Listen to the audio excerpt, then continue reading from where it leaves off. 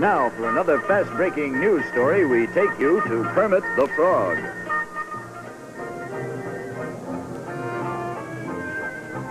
Say, listen, uh, what's a nice girl like you doing at a palace like this anyhow, huh? Hmm? Um, oh, uh, pardon me. Um, hello there, this is uh, Kermit the Frog at Sesame Street News, and I'm speaking to you now from the palace where the Prince Charming is back there dancing with Cinderella right at this very moment. Uh, let us see if we can get in a word with the happy couple, huh? Uh, pardon me, uh, excuse me, Prince Charming. Uh, um, uh, pardon me, uh, Prince Charming. This is Kermit the Frog of Sesame Street News.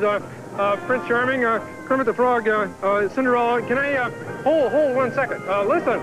Hey, can I ask you to describe your outfit for our, for our home audience out there? Oh, well, I'd love to. Well, yes, I'd be delighted to. You see, I have on my magnificent sky blue velvet suit with tapered trousers and ruffles at the neck and wrist. Uh, yeah, that, that, that's very nice, Prince Charming, but uh, It's I was... Uh, o'clock already. On my waist is the Oh. golden belt encrusted with rubies and twinkly things. uh, yeah, uh, I have to leave. Now, on my head is the crown with the family jewels. uh, uh, Prince Charming, I, I Of think course, you now like here to- on my finger is the terribly expensive turquoise ring that Dad gave me. Uh, listen, Prince Charming, Cinderella just left.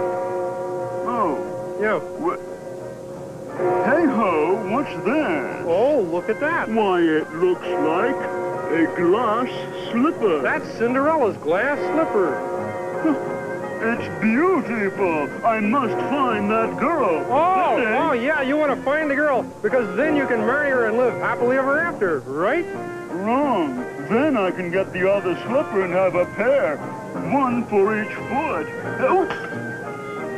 Oh, you, you broke it. Now you'll never be able to find her and live happily ever after, Prince.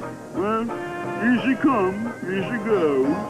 Oh. The prince is free to dance. Who'd like to dance? Well, uh, Get your tickets. for This is Kermit the. Frog of Sesame Street News, Line up right and I'm returning you now to your, uh, Uh, would you like to dance with? No, I suppose not. uh, returning you to your regular scheduled program, huh?